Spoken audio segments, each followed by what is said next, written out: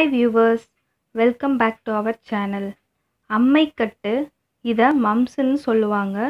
பொண்ணுக்கு வீங்கின்னு இதுக்கு இன்னொரு பெயரும் இருக்குது இது நம்ம உடம்புல இருக்கிற உமிழ்நீர் சுரப்பி வீக்கம் அடைகிறதுனால தாடை பகுதியில் வீக்கம் உண்டாகும். இது வலியை நமக்கு ஏற்படுத்தும். இந்த அம்மைக்கட்டு அதாவது பொண்ணுக்கு வீங்கி நோய் குழந்தைகளவே அதிகமாக பாதிக்குதுன்னு சொல்லப்படுது. அஞ்சு வயசுலேருந்து பதினஞ்சு வயசு உள்ள குழந்தைகளுக்கு இந்த பொண்ணுக்கு வீங்கி ஏற்படுது.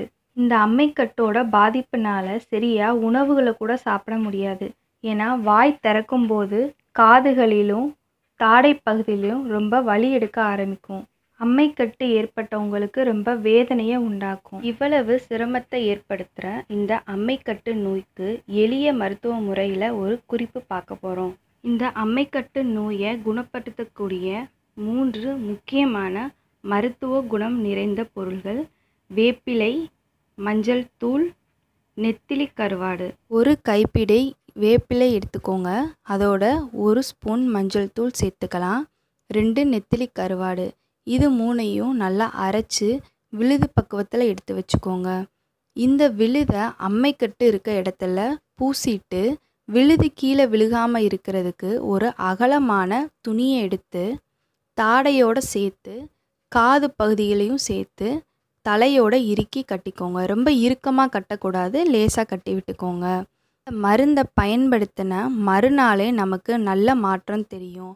அம்மைக்கட்டுனால் ஏற்பட்ட உபாதைகள் வலி வேதனை காய்ச்சல் இதெல்லாமே குணமாகி வரும்.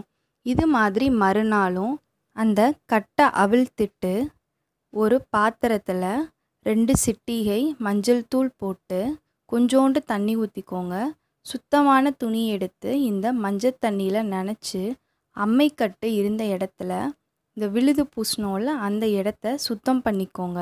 சுத்தம் பண்ணிவிட்டு மறுபடியும் ஒரு கைப்பிடி வேப்பிலை ஒரு ஸ்பூன் மஞ்சள் தூள் ரெண்டு நெத்திலி கருவாடு எடுத்து நல்லா அரைச்சிட்டு அந்த விழுதை அம்மைக்கட்டு இருக்க இடத்துல பூசி கட்டிட்டு வாங்க.